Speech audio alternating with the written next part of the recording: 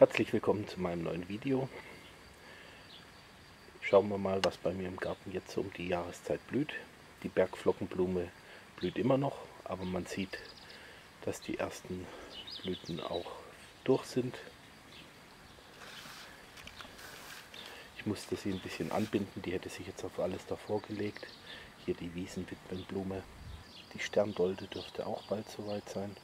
Die dicken Bohnen, äh, Blüten werden auch fleißig von der schwarz-blauen Holzbiene besucht. Die setzt sich allerdings oben drauf und sticht dann rein. Und im Hintergrund die ähm, Filzrose. Ist herrlich. Vor ein paar Jahren gesetzt, ist jetzt schon so ein Riesentrum. Die Maibeere trägt ihre Früchte.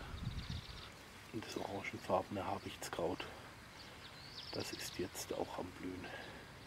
Der Holunder. Und hier meine Akeleien.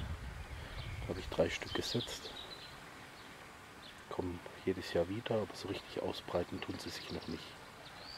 Die Klette und die Wicke, die muss ich immer ein bisschen ähm, zurückdrängen, weil die sonst meine Blaubeeren voll ähm, zuwuchern.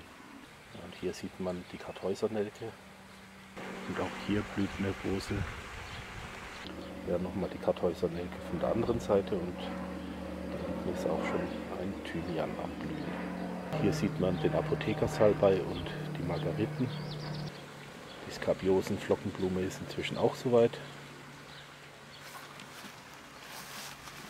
Und auch hier ist noch orangenfarbenes Habichtskraut.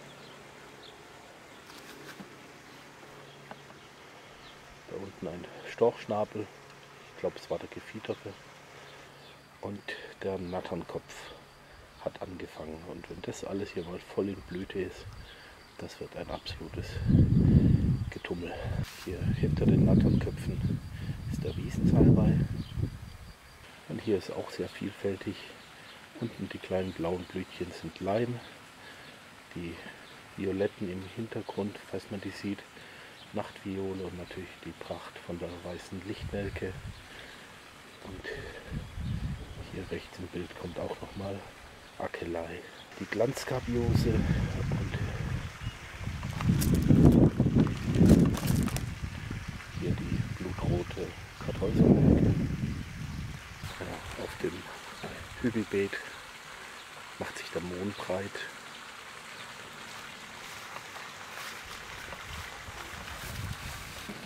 Für mein Moor habe ich jetzt tatsächlich ein Gitter gebaut. Seitdem lässt die Amsel es in Ruhe. Jetzt hoffe ich, dass es sich wieder gut entwickelt. Das müsste jetzt Leinkraut sein. Das wird dann gelb. Das ist der Frauenmantel. Ja, in unserem Garten ist der Lehmbatz einfach übermächtig. Wir machen jetzt einfach den Boden austauschen und oben drauf einfach Kompost und fertig. Natürlich gucken wir, dass das alles torffrei ist. Aber da gibt es ja inzwischen auch gute Substrate. Und die Tomaten braucht man offensichtlich nicht viel gießen, wenn man da einfach diese Mulchwürste dreht. Die offenen Stellen, die trocknen alle gut aus, aber die Tomaten, die stehen da wie eine Eins. Von daher super. Ja, hier sieht man ganz prächtig die Nachtviole. Voll besetzt. Fehlt auch nicht mehr viel. Und hier habe ich jetzt auch nachgelegt. Der Bienenstein wurde auch schon besiedelt. Dem Bienenstein ist schon ziemlich viel und jetzt habe ich daneben nochmal ein Holz mit rund 80 Löchern. Ist richtig cool, wie man das hier von der Terrasse aus beobachten kann. Weiß jetzt nicht, ob man das gut sehen kann in dem Licht.